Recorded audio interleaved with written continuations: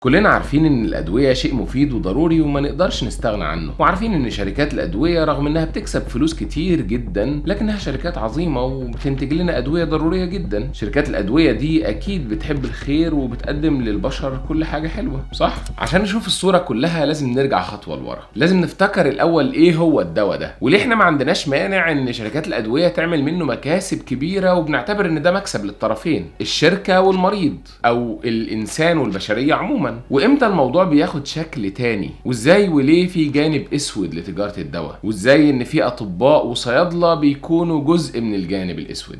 الدواء هو منتج زي أي منتج بيخضع لآليات السوق العرض والطلب. لكن الفرق بينه وبين أي منتج تاني إن الدواء هو منتج ما ينفعش الشركة تعلن عنه بشكل مباشر للمستخدم أو للزبون اللي هو المريض. وعشان يتباع لازم طبيب يوصفه. وهنا المشكلة. خلينا الأول نتخيل لو كنا عايشين في العالم المثالي. في العالم المثالي كل شركات الأدوية بتصرف فلوسها على البحث العلمي عشان تكتشف أدوية جديدة. تصنع الأدوية دي بأحسن جودة وفي أحسن شكل وتبيعهم بسعر معقول. ولما المريض يتعب بيروح للدكتور. الطبيب بيشخص المريض صح وبيوصف له الدواء اللي المريض محتاجه بس. ويكتبه بالاسم العلمي بغض النظر عن الاسم التجاري أو اسم الشركة. آه ما هو كل دواء ليه اسمين اسم علمي واسم تجاري. الاسم العلمي ده بتاع المادة اللي جوه الدواء. المادة الفعالة اللي جوه الكبسولة أو إزازة الدواء أو الحباية، المادة اللي بتشتغل، زي مثلا باراسيتامول، ده مادة مسكنة للألم بتسكن الألم وبتنزل الحرارة بغض النظر عن مين الشركة اللي مصنعاها، وفي كمان اسم تجاري brand name، وده بيدل على المنتج نفسه، الاسم اللي الشركة المصنعة للدواء ادته وده اللي بيخلي الباراسيتامول اللي اتكلمنا عليه مثلا بيتباع تحت أسامي كتير جدا، بانادول وأدول وسيتال وفيفادول وبارامول وتايلينول وزي ما أنت عايز، وكل منتج من دول له اسم وشكل وسعر ويمكن جودة مختلفة. المهم بعد ما الدكتور في العالم المثالي كتب الوصفة للمريض بتاع العالم المثالي هيروح للصيدلي بتاع العالم المثالي يديله روشتة الصيدلي في العالم المثالي بيختار أي منتج من على الرف. المهم يكون فيه المادة الفعالة ويكون تاريخ صلاحيته لسه ما انتهاش. ويفضل إن الصيدلي في العالم المثالي يختار أرخص منتج فيهم باعتبار إن الجودة بتاعتهم كلهم زي بعض. ده العالم المثالي ملناش دعوة بيه. في العالم الحقيقي بقى اللي إحنا عايشينه ملاك شركات الأدوية هدفهم يكسبوا فلوس. وده السبب إنهم عملوا شركات الأدوية أصلا. وعشان كده بعضهم بيصرف على الدعاية أكتر ما بيصرف على البحث العلمي وتطوير الأدوية. ومصاريف الدعاية بتاعت بعض الشركات بتعدي أكتر من نص مصاريفها السنوية. كمان في العالم الحقيقي الدكاترة والصيادلة محتاجين فلوس هم كمان عشان يعيشوا ويدفعوا الإيجارات والفواتير ومصاريف المدارس. وزي ما في كتير منهم بيخافوا ربنا ومحترمين لكن في بعضهم للأسف مش كده. والنتيجة هي الكوارث اللي هنشوفها دلوقتي. من بريطانيا دكتور محمد منصور طبيب البطنة والكلى. قناه الدكتور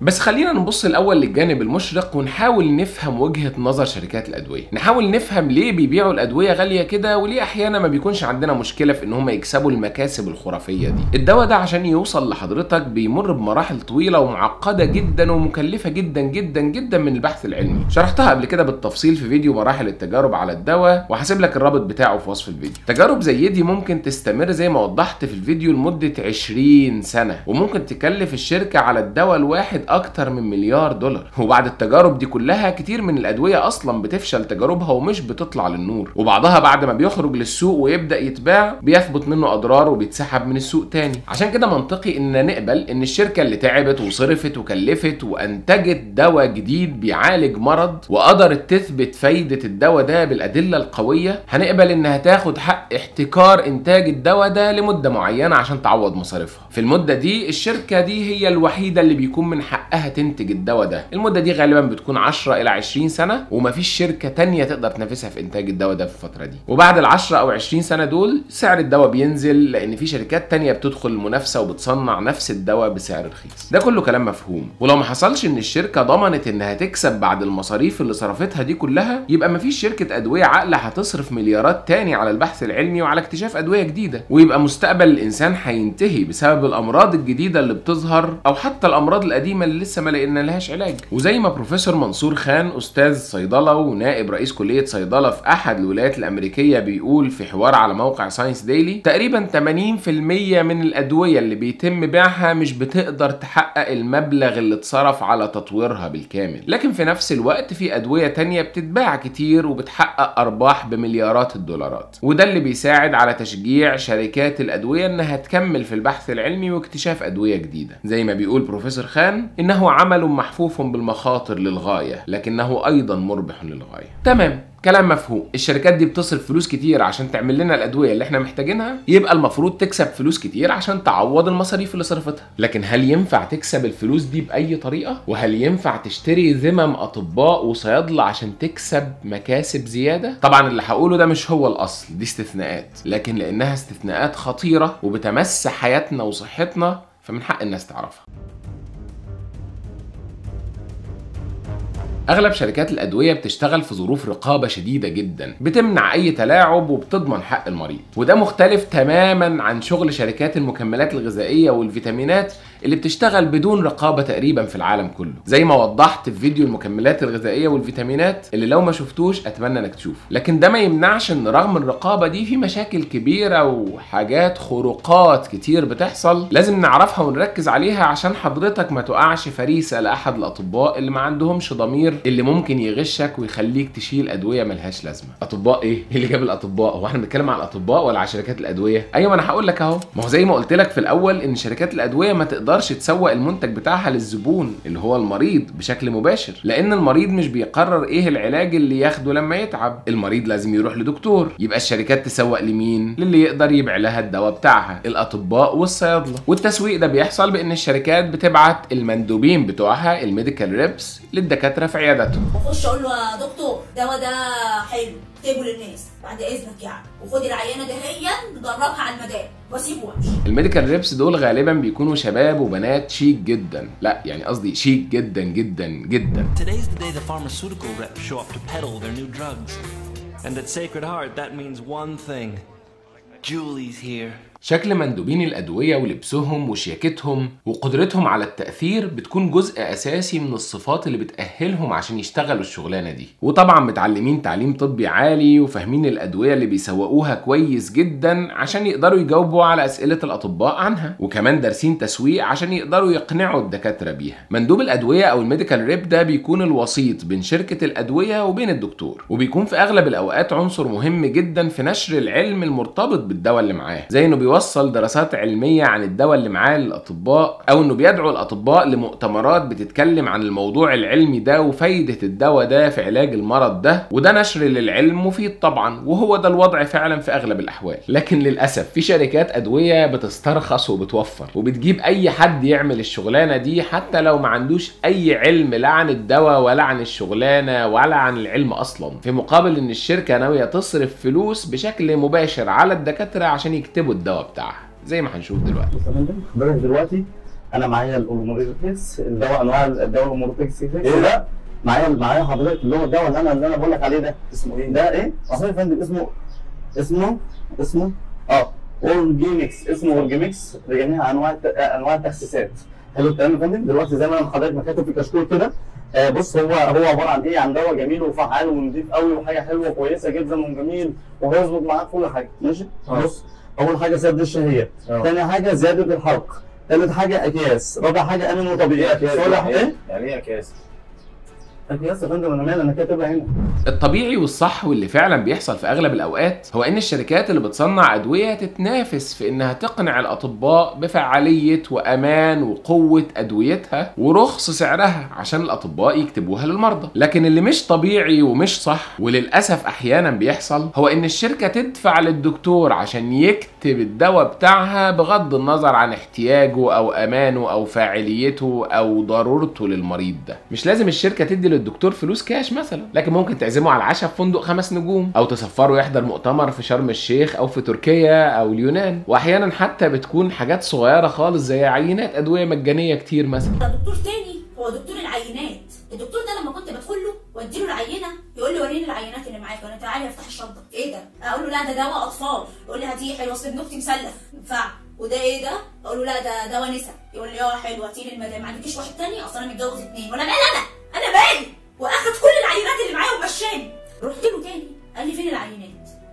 قلت له أنا لسه مديها لحضرتك المرة اللي فاتت. قال لي ما تخشنيش من غير عينات امشي اطلع بره. أنا هنا مش بتكلم عن القلة من الأطباء اللي بيطلبوا نسبة من فلوس المبيعات بشكل صريح أو بيطلبوا طلبات معينة مقابل إنهم يكتبوا الدواء صفقة أو ديل يعني. أهم حاجة إن إحنا نقدر نصطاد أكبر عدد من الدكاترة الديلرز فانت تروحي للدكتور تقولي له إيه طلباتك فهيقول لك بقى. عايز مروحة؟ كيلو جمبري؟ سفريه لشرم وباطي كارينا؟ انت وحظك في الطلبات. أو يقول لك عايز نسبة يعني إيه نسبة؟ يعني لو علبه الدواء وليكن ب 100 جنيه واتفقتي معاه على نسبة 20% فعلى كل علبة هيكتبها هياخد 20 جنيه. طبعا ده بالاتفاق مع الصيدلية اللي تحت العياده وللأسف مش بس بعض الأطباء اللي ذمتهم بتتشرب الفلوس بعض الصيادلة كمان. الشركة ممكن تدفع فلوس للصيدلي عشان يطلع المنتج بتاعها بدل المنتجات التانية. رغم إن المنتج بتاعها ممكن يكون أغلى أو جودته أقل أو تاريخ صلاحيته على وشك إنه ينتهي بدون تفكير في مصلحة المريض اللي وثق في الطبيب أو في الصيدلي. هتقولي طيب أعرف إزاي إن الدكتور ده ممكن يكون بياخد فلوس من شركة الأدوية؟ هقولك لو أنت عايش في بلد فيها رقابة قوية ونظام صحي محترم فغالبا الأمور بتبقى أمان. هنا في إنجلترا مثلا الرقابة صارمة مفيش هزار في الحاجات دي. حتى المؤتمرات العلمية اللي شركات الأدوية بترعاها بيبقى آخرها سندوتش جبنة وإزازة مية. وفي أمريكا مثلا تقدر عن طريق موقع Open Payments Data اللي هو مبادرة حكومية تقدر تعرف الدكتور بتاعك أخد كام من شركات الأدوية في أي سنة من السنين. أيوه. تدخل اسم طبيبك على الموقع وتشوف أخد فلوس كام في كل سنة من شركات الأدوية أو شركات الأجهزة الطبية. ممكن طبعا تلاقيه بياخد فلوس معينة نتيجة مشاركته في أبحاث مع الشركات دي وده شيء كويس. وممكن تلاقي مبالغ منطقية من شركات الأدوية وممكن تشوف أرقام صادمة بالملايين أحيانا. أما بقى لو أنت عايش في بلد ما فيهوش شفافية وما فيهوش رقابة ولا نظام صحي محترم فالطريقة العبقرية اللي تخليك تقدر تشك هل الدكتور بتاعي بياخد فلوس من شركات أدوية ولا لأ كانت من اختراع الفنان جون أوليفر واللي هدبلجها لكم بصوتي دلوقتي في أول دوبلاج بصوت الدكتور محمد منصور في التاريخ. ربنا يستر. ما لاحظتش حاجة غريبة في الفترة الأخيرة على الدكتور بتاعك؟ شكله سعيد ومبسوط زيادة عن الطبيعي بيكتب لك روشتات كتير بسرعة جدا وبيوصف أدوية كتير أنت مش محتاجها؟ One more, actually. هل لاحظت في مكان انتظار المرضى عنده إن في ناس شكلهم شيك جدا ومش باين عليهم إنهم مرضى زيك؟ السبب بسيط؟ طبيبك ممكن يكون بياخد فلوس من شركات الأدوية. فلوس شركات الأدوية دي ممكن تكون في شكل عشاء مجاني أو فلوس كاش أو أشكال تانية مختلفة. وخليني أشرح لك بتشتغل إزاي. الفلوس بتمسك في مستقبلات السعادة في محفظة طبيبك وبتؤدي إلى نتيجة فعالة بتدوم لفترة طويلة. ده بيخلي طبيبك يقدر يستمتع بيومه ويعيش حياة سعيدة. بعض الآثار الجانبية المحتملة لفلوس شركات الأدوية هي كتابة أدوية كتير في كل روشتة كتابة وصفات كتير جدا حتى لو المريض مش محتاج تكرار دواء معين لكل المرضى عيادة الدكتور تكون مليانة عينات مجانية من الأدوية والدكتور بيبيعها بفلوس للمرضى. اسأل طبيبك لو كان بياخد فلوس من شركات الأدوية. فلو لقيت دكتورك بيحط لك دواء معين في كل الروشتات وبيقول لك إنه بيعالج كل الأمراض. اكتشفت إن الدكتور بيكتب الكريم ده لأي كائن يخش عنده. عندي روماتيزم تهينه على رجلك. عندي ارتجاع في المريء تهينه على كرشك. صدع تهينه على راسك. عندي احتقان في الزور تهينه في بقك. المرهم ده هايل جدا في إزالة آثار الجروح. إزالة الحروق علاج العضلات. ممتاز ممتاز ممتاز في البرد والرشح. أيوه يا ابني أنت لو الشمس جت عليك تدهن من ده تاخد تان تغماء فاهم؟ آه بيخش في تتبيلة الكفتة. ممتاز. يعالج مشاكل السمكره بتاعت العربيات الهالات السوداء البثور السوداء آه الجيوب الأنفية كل الحاجات. عارف من اليمين للشمال يغمق البشرة من الشمال لليمين يعمل تفتيح للبشرة. شفت الصياعة؟ يبقى خلي بالك ممكن شركة أبو سلخة تكون ادته فلوس. طبعا أنا عارف إن أغلب زمايلنا الأطباء اللي سامعيني دلوقتي أطباء محترمين وبيراعوا ربنا في شغلهم وبأكد طبعا إن الفيديو ده فيه جزء كبير هزار عشان بس المعلومة توصل. فيا ريت زمايلنا الأعزاء ما يزعلوش مني. ويا ريت حضرتك لو ليك تجربة مع دكتور أمين ومحترم وبيراعي ربنا اكتب لي عنه في التعليقات ونشكره في التعليقات عشان نوزن الأمور شوية لأني متأكد إن التعليقات هتكون كلها منحازة ضد الأطباء. ما تنساش إن أنا دكتور الله يخليك.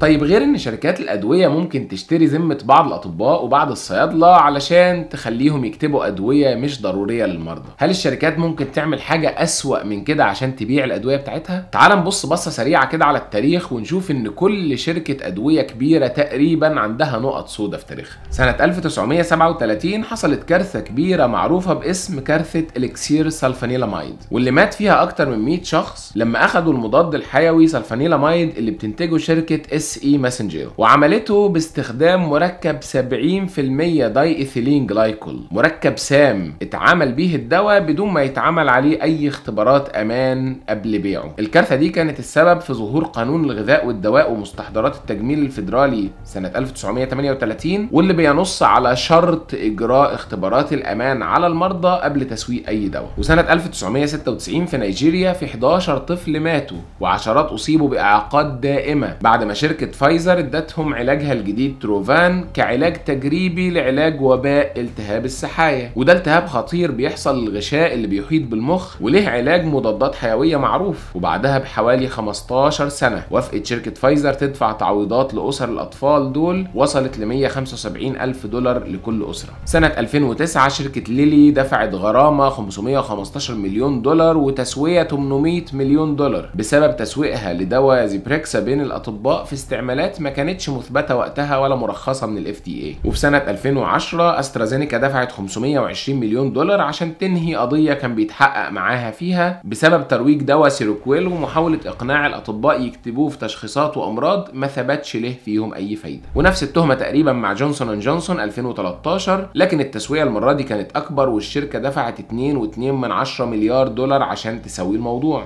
ولو حد هيدافع عن اللي فات دول ويقول دي أخطاء مش مقصودة وممكن تحصل في التجارب عشان نوصل لدواء جديد. فاللي حصل سنة 2015 لما شركة Turing Pharmaceutical اشترت حق إنتاج أحد الأدوية اللي اسمه Daraprim واللي بيستعمل في علاج بعض أنواع العدوى الطفيلية اللي بتيجي في المخ عند المرضى اللي عندهم ضعف في المناعة وممكن ينهي حياتهم. الدواء ده كانت الشركة القديمة بتنتجه وقتها بسعر 13.5 دولار للحباية. تاني يوم الشركة الجديدة رفعت سعره في أمريكا ل 750 دولار للحباية. 5000% زيادة في لحظة بدون سبب. ده في الوقت اللي كان لسه سعر الحباية بره أمريكا بيتباع تقريبا بدولار واحد. رئيس الشركة اللي أخذ القرار ده وقتها بس بغرض الربح مارتن شكريلي كان بيتوصف إنه الرجل الأكثر كرها في أمريكا. ونختم بأكبر تسوية في تاريخ شركات الأدوية في العالم 3 مليار دولار دفعتهم شركة جلاكسو سميث كلاين بسبب تسويقها لأدوية تخسيس بدون كشف الآثار الجانبية للأدوية دي. يمكن الجانب الوحيد المشرق في الفضايح والمصايب اللي فاتت دي هو إن بعضهم كان السبب في ظهور تشريعات رقابية أكتر على ممارسات شركات الأدوية واللي بتخلي بيع وشراء الأدوية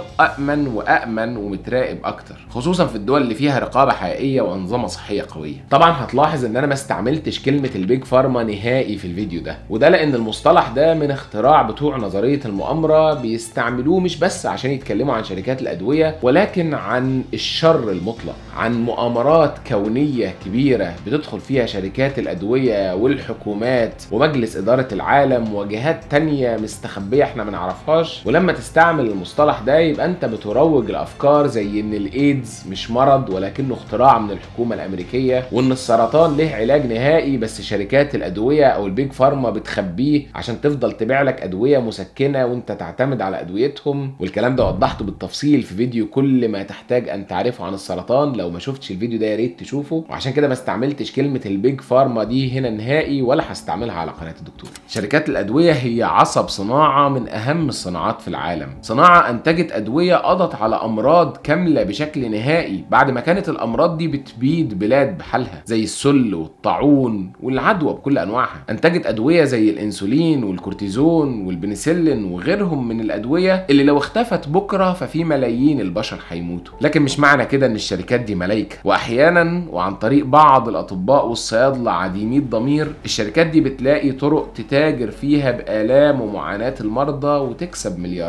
حرام. فلو حضرتك يلي بتسمعني طبيب أو صيدلي أو شغال في شركة أدوية فما تنساش قد إيه مهنتك دي ممكن تكون السبب في تخفيف آلام الناس وممكن تدخلك أنت الجنة. ولو حضرتك يلي بتسمعني مش حد من دول فخلي بالك لما تختار دكتور أو صيدلي اختاره كويس لأن للأسف في قلة قليلة منهم dealers أشوفكم الفيديو الجاي. سلام عليكم. ثانية واحدة. سلام عليكم. الفيديو ده كان المفروض إن هو يتنشر بعد فيديو المكملات الغذائية والفيتامينات اللي أنا سجلته بقالي أكتر من شهرين. ولكن لأن فيديو المكملات الغذائية والفيتامينات فيديو ضخم بشغل ضخم وإنتاج ضخم فهو للأسف لسه في المونتاج لحد دلوقتي. وإن شاء الله يتنشر قريب وهيعجبك. فلو حضرتك مش مشترك في قناة الدكتور وضاغط على جرس التنبيهات يا ريت تشترك دلوقتي وتضغط على الجرس عشان ما يفوتكش فيديو المكملات الغذائية والفيتامينات لما ينزل عشان ده فيديو مفيش زيه على الإنترنت العربي. أشوفكم الفيديو الجاي. سلام عليكم